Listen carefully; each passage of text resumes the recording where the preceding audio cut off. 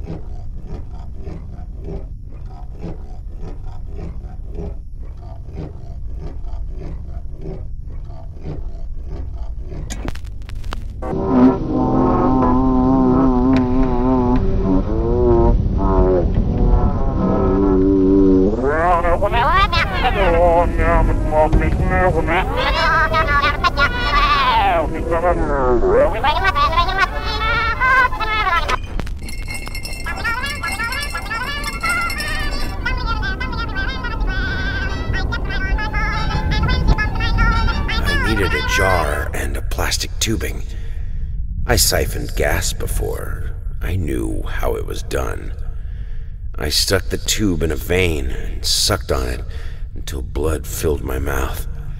Then put the tube in the jar and it just kept coming. A taste of copper haunted me the entire night. Why didn't I think of a syringe?